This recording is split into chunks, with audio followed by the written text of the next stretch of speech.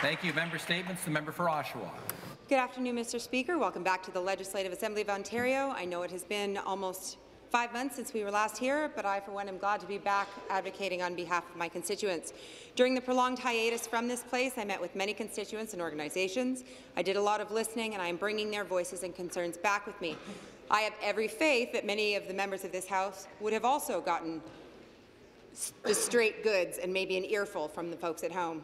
I heard loudly and clearly from parents of children with autism who deserve needs-based funding. I met with parents of adult dependents with diverse special needs who are confined in hospitals and are unable to be appropriately housed by this government in this province. In Oshawa, we have tent cities, shocking child poverty, and an opioid addiction crisis that has, is being faced by communities across the province. This government must recognize that this crisis is a health epidemic and approach it purposefully and strategically to ensure all Ontarians have the support that they need so that they can be well and safe. In Oshawa, we have workers facing a very uncertain road ahead.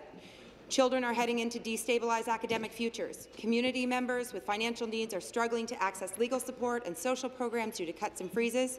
Low-income seniors who qualify for your promised dental care can't get it because they can't find it.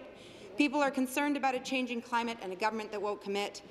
People worry that their health and long-term care will continue to be eroded.